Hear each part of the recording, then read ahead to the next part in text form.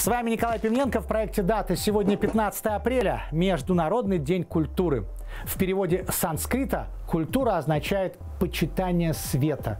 И эти слова действительно передают истинную суть явления. Желание познавать прекрасное, самосовершенствоваться, искать идеалы.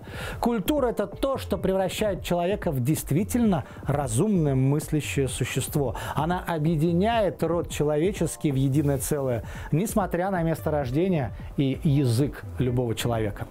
Также сегодня отмечается День специалиста по радиоэлектронной борьбе вооруженных сил Российской Федерации. Ну а теперь о родившихся в этот день. 1452 год. В этот мир приходит Леонардо да Винчи, великий художник, архитектор, ученый и инженер, и автор Монны Лизы. По одной из теорий она улыбается от осознания своей тайны для всех беременности. По другой версии, Джаконду развлекали музыканты и клоуны, в то время как она позировала художнику. Есть еще одна теория, согласно которой Монна Лиза – это автопортрет самого Леонардо. Впрочем, про Леонардо да Винчи можно говорить очень долго.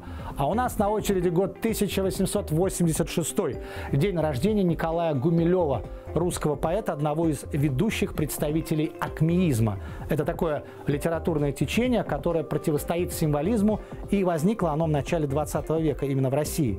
Акмеисты провозглашали материальность, предметность тематики и образов, точность слова.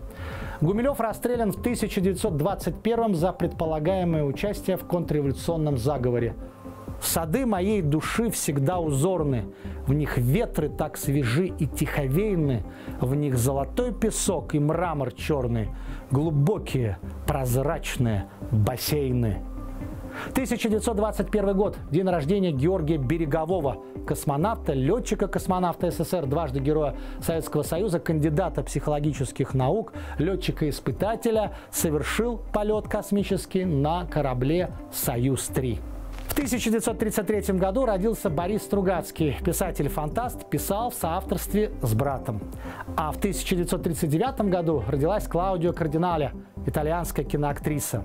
Год 1949 в этот мир приходит Алла Пугачева, певица, народная артистка СССР и наше все. 1966 год, день рождения Саманты Фокс, бывшей британской модели, певицы жанра данс-поп – до сих пор вспоминаю огромные плакаты, которые вывешивали в конце 80-х годов водители общественного транспорта. 1990 год. Рождается Эмма Уотсон, британская актриса, наиболее известная по роли Гермионы в фильмах о Гарри Поттере. Теперь некоторые события этого дня. 1849 год. Торжественно освящен Большой Кремлевский дворец, один из дворцов Московского Кремля. Построен по повелению императора Николая I группой русских архитекторов под руководством Константина Тона. Пять залов дворца – Георгиевский, Владимирский, Александровский, Андреевский и Екатерининский – были названы по имени орденов Российской империи. 1874 год. В Париже организована первая выставка произведений художников-импрессионистов. Поводом послужило название пейзажа Клода Мане «Впечатление. Восход солнца», что от французского «impression» – «впечатление» который экспонировался как раз на той самой выставке. Критика встретила новую живопись травлей, Правда, уже с конца 1880-х годов многие приемы импрессионистов были подхвачены представителями академического и салонного искусства. 1881 год. Казнь через повешение в Санкт-Петербурге на Семеновском плацу участников группы «Народная воля», которая организовала покушение на Александра II. Это революционеры-народовольцы Желябов, Перовская, Кибальчич, Михайлов и Рысаков. 1919 год. Декретом советской власти о создании системы исправительно-трудовых лагерей положено начало образованию архипелага ГУЛАГа. ГУЛАГ – это главное управление лагерей.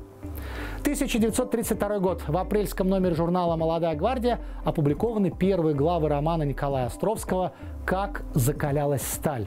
На долгие годы произведение станет символом советской власти, а молодежь будут воспитывать на примере главного героя Павки Корчагина.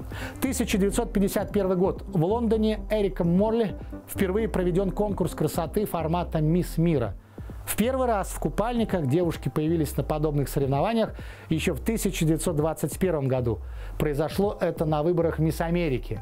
И было необходимо для того, чтобы лучше оценить красоту фигуры и избежать подделок. Естественно, что авторами этих утверждений были мужчины. Самое же первое соревнование красавиц состоялось еще в сентябре 1888 года в бельгийском курортном местечке с очень известным нам названием «СПА». 1989 год. Во время полуфинального кубкового матча между командами Ливерпуль и Ноттингем Форест на футбольном стадионе Хилсборо в Шеффилде в Англии в результате рухнувшей трибуны 93 человека погибают и 170 ранены. 2019 год. Разрушительный пожар в соборе Парижской Богоматери, который привел к обрушению крыши и шпиля.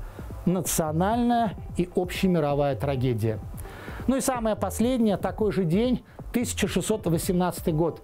В семье литовского крестьянина Самуила Скавронского появляется на свет дочь Марта. 18-летняя она попадает в плен к русским во время Северной войны. Петр I встречает ее в доме у Меньшикова. Потом она становится фактически женой императора. Обвенчались они 7 лет спустя, когда уже появились на свет дочери Анна и Лиза.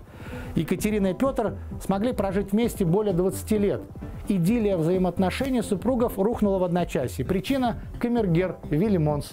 По приказу императора фаворит был казнен, а через два месяца скоропостижно скончался и сам Петр, так и не простивший жене измены. Вчерашняя кухарка Екатерина, получившая власть из рук Александра Меньшикова, правила чуть более двух лет. Трон завещала Петру II, внуку своего великого супруга. Как говорят в таких случаях, о времена, о нравы. С вами был Николай Пименко в проекте «Дата».